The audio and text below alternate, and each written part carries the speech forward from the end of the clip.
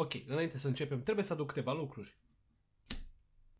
Probabil vă întrebați de ce am adus aici un sistem de 2 plus 1. De fapt, este un sistem de 5 plus 1 în total, dar nu am loc de mai mulți sateliți pe biroul ăsta, așa că am adus doar subwoofer și 2 sateliți. Și asta este pentru că vreau să fac o comparație între ăsta, care este un sistem de aproximativ 35 de W, 35 un pic, față de un HomePod. Oare merită în 2020 să luăm un HomePod ca să locuiască un sistem, chiar el fiind de 35 de W? Hai să vedem. Vreau să fac o mică comparație între cele două, dar mai întâi hai să fac un unboxing la frumusețea asta care face parte din ecosistemul Apple. Așa că o să-l desfacem complet.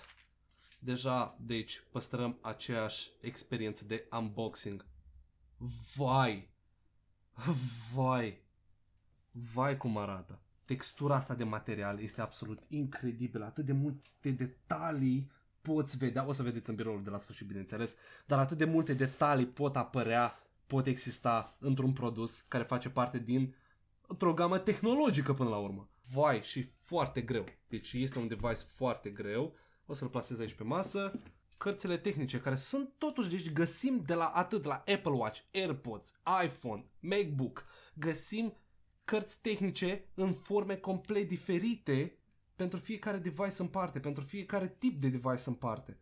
În fundul device-ului găsim logo-ul Apple, care este foarte bine ascuns, nu este deloc intruziv, este ok, este bine acolo unde este plasat, din punctul meu de vedere. Și aici avem cablu care este îmbrăcat tot în material textil. Ok, odată ce l-am pus în priză putem vedea aici deasupra o animație stil Siri. Deci deja putem vedea cum boxa începe să-și facă inițializarea practic. Am simțit un bas atât de puternic, a scos un sunet cu un bas atât, dar atât de puternic. Ok, acum, înainte să începem să testăm boxa, vă rog să observați că abia am scos telefonul din buzunar și deja am opțiunea de a face pair cu boxa. Și o să-i dau setup, chiar acum, dacă toți suntem aici. Center the HomePod in the frame. nu cred. Deci doar a trebuit să aliniez animația pe care o are HomePod-ul cu camera, cu ce vedea camera de la telefon și acum își face pairing-ul automat. Ok, în același timp o să pun dangle-ul, pentru că Apple, pentru cablu jack, pentru mufa jack de la sistemul Miria, este un sistem Miria de 35 de W. Ok, ok. Înainte să punem muzică de pe Siri, o să pornesc puțin muzica pe sistemul ăsta.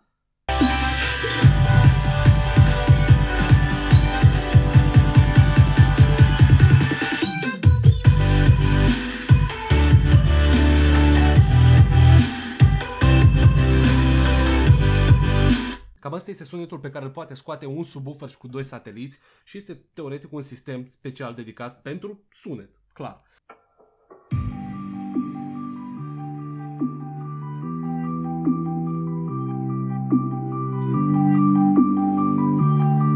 Maximul pe HomePod.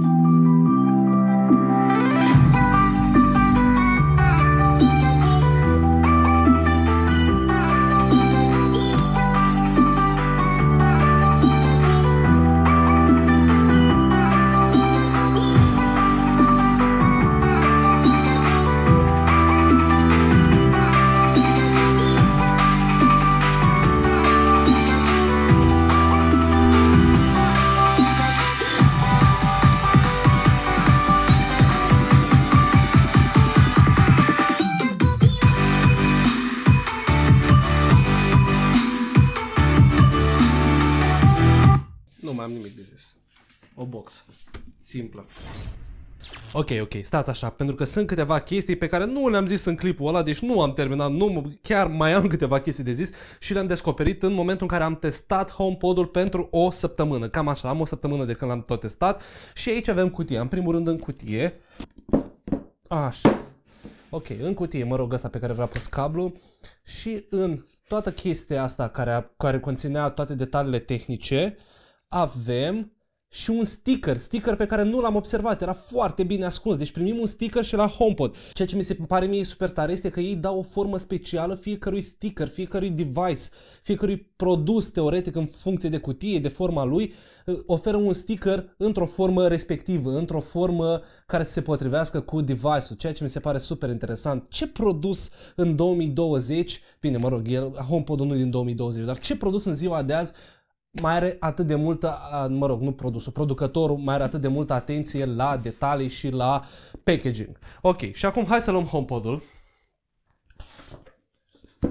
Este un produs incredibil, este un produs frumos, este compact, deci chiar este mic nu știu, relativ la mâna mea, de exemplu, este un produs foarte mic. Pot să-l apuc cu o singură mână, dar este greu. În schimb, este foarte greu.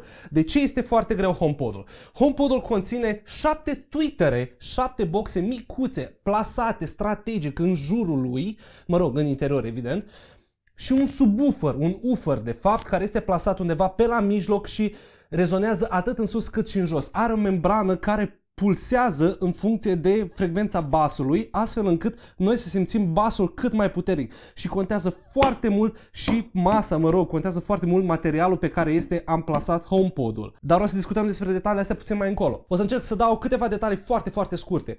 Apoi, Cablul, cablul cu care este alimentat HomePod-ul nu poate fi scos din HomePod și nici nu este recomandat. Nu știu cine ar vrea să facă asta sau de ce ar vrea să facă asta, să scoată cablul din HomePod, dar nu este recomandat, așa că cel mai bine ar fi să-l lăsăm acolo iar în partea cealaltă avem o priză normală, este evident. HomePod-ul în interior, tot în zona ufărului, mai are și 6 microfoane, 6 microfoane cu o sensibilitate foarte mare și o să vedem acuși.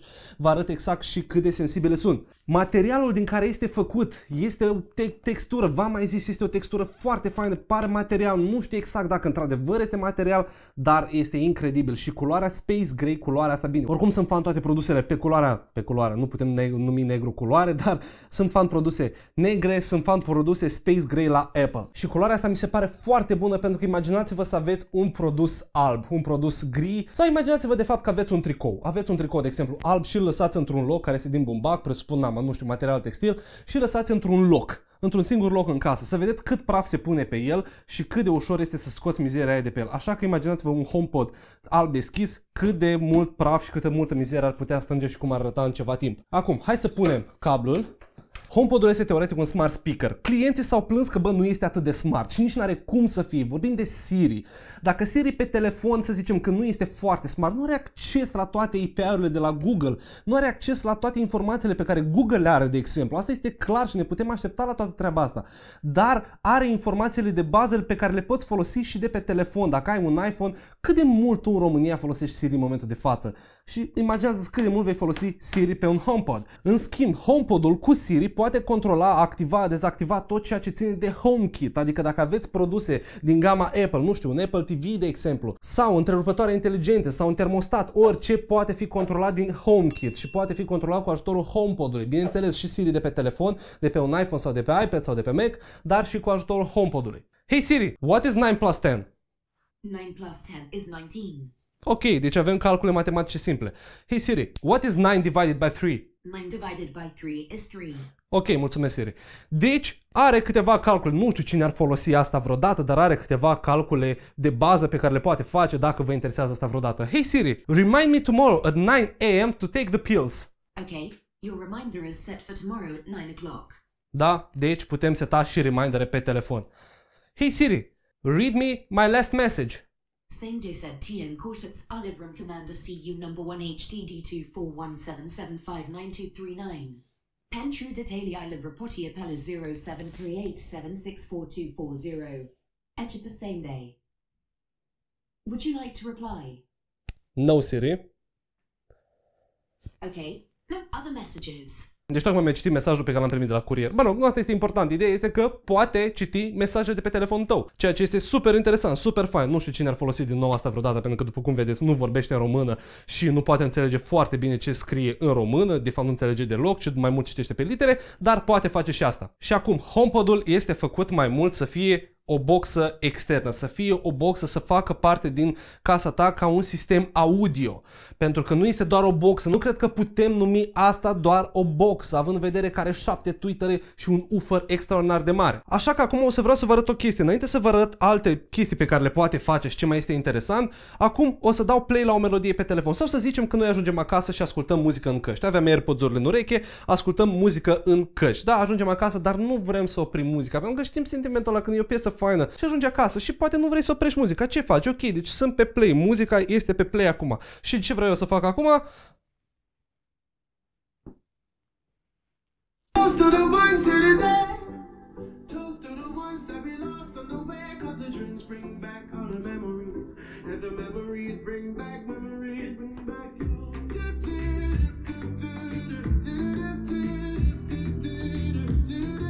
Și acum telefonul devine controller pentru HomePod. Ai ajuns acasă cu telefonul în momentul în care el este încă pe play, adică nici nu trebuie să oprești muzica, ai ajuns acasă, pui telefonul deasupra la HomePod și faci handoff. Tehnologia asta se numește handoff, adică pur și simplu oferi muzica ta de pe telefonul tău pe care tocmai o asculti, o oferi pe HomePod. Genial. Deci asta mi se pare o chestie genial. Și în momentul în care eu sunt în iMusic acum, o să selectez de aici unde vreau să-mi redea. Poate să fie pe iPhone direct, deci poate să fie să-mi dea pe speakerele telefonul și acum eu dacă o să dau play îmi cântă pe telefon, deci în momentul de față melodia este pe telefon și dacă vreau să schimb pe HomePod, pur și simplu am trecut pe HomePod. Nimic mai simplu de atât. Este un device care bă, este atât de intuitiv și se comportă atât de bine, se comportă atât de bine încât eu cel puțin momentan nu am ce să reproșez. Acum vreau să vă zic o chestie. De ce am pus muzică de pe iMusic?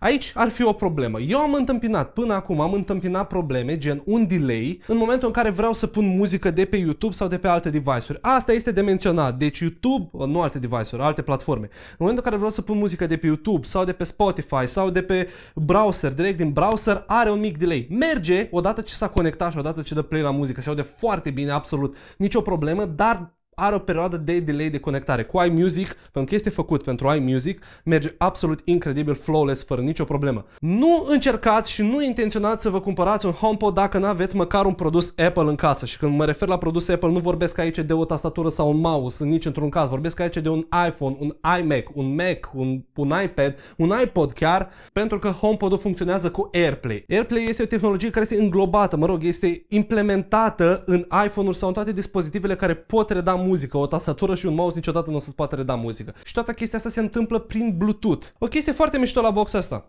Hey Siri, play Jazz FM Romania. Here's Jazz FM Romania, provided by TuneIn.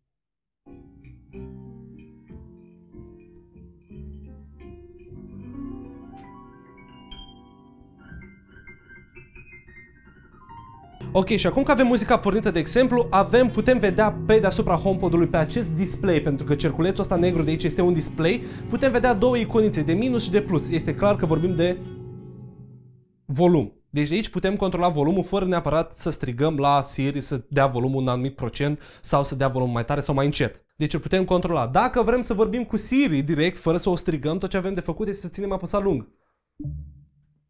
You are awesome. No, I'm useful. But thanks for saying so. În momentul în care avem play la o melodie, deci dacă o melodie cântă în momentul de față, cum se aude în momentul de față de pe HomePod, ca să-i dăm pauză un singur tap, am dat pauză, play în continuare, dacă vrem să trecem la melodia următoare, double tap, și triple tap să ne întoarcem.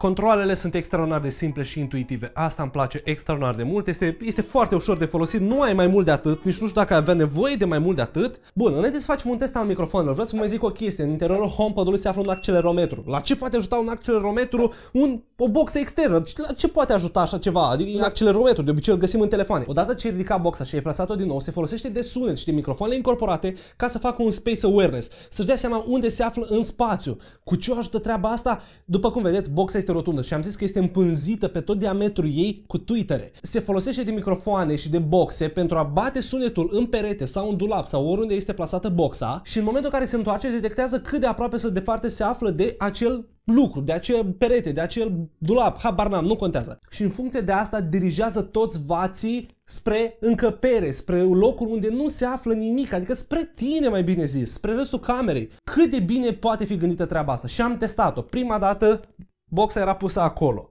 Deci era pusă aici, din cauza spațiului pe care l-am eu aici, nu știu acum cât se vede pe cameră, dar din cauza spațiului pe care l-am eu aici, sunetul chiar era destul de prost, nu era deloc grozav. Am încercat să o pun pe podea, la fel, basul nu se simțea pentru că el are nevoie de o membrană, are nevoie de un suport ajutător care să redea basul, pentru că are un bas extraordinar de puternic, iar următorul loc în care, iar următorul loc pe care l-am găsit este aici.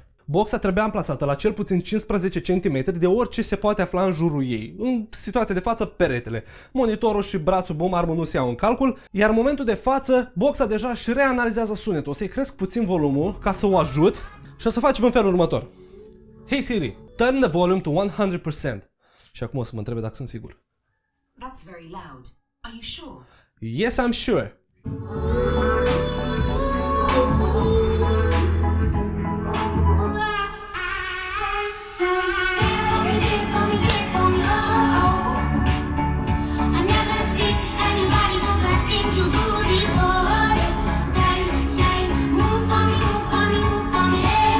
Sper să mă auziți în momentul de față. O să vreau să văd dacă de la distanța asta mă aude. Sunt aproximativ 5-6 metri până la boxă. Hey Siri! Nu pot să cred că m-a auzit. Deci nu pot să cred că m-a auzit. Hey Siri, stop the music. Cadeți ca să fac și cu pași, adică despre ce vorbim. Am mers încolo până la ușă. 1, 2, 3, 4, 5, sunt vreo 5-6 pași până aici, 5 pași jumate, am făcut pași, nu știu, un metru să zicem, hai, poate nu chiar 5 metri, dar era boxa la maxim, un sunet foarte plin, un sunet care umplea toată camera. Bun, asta este, este HomePod-ul. HomePod-ul este o boxă pe care o pot recomanda oricăruia dintre voi, poate nu la prețul întreg. Prețul întreg este destul de mare, 350 de dolari, dar știm cu toții că pe anumite site-uri din România putem găsi anumite produse mult, mult mai ieftine. Așa că poate la un preț mai mic, dacă îl găsiți, atunci este, este o boxă extraordinară. De ce zic asta? Poate pare mult să zicem 1100, 1200 de lei sau 1300 pentru o boxă de genul ăsta. Imaginați-vă că eu am făcut review la Marshall. Dacă nu ați văzut review, aveți link aici în card. Marshall, o boxă extraordinară care era aproximativ 1200 de lei. Și nu era smart speaker, avea doar un sunet extraordinar, un sunet foarte bun. Eu cred că HomePod-ul și nu neapărat că, că cred, dar aș putea fi convins că HomePod-ul are un sunet mai bun decât Marshall-ul și pe lângă asta este și un smart speaker și aici am încheiat. Sunt Alin Zvâncă, vă mulțumesc din suflet, vă mulțumesc că ați fost aici cu mine. Nu uitați dați un like, un share, un subscribe. Aici se afla HomePod-ul, să pun înapoi asta aici. Urmează un b-roll, bineînțeles facem b-roll la HomePod-ul ăsta și ne vedem de acum în video următor. Like, share, subscribe. V-am pupat! Pa!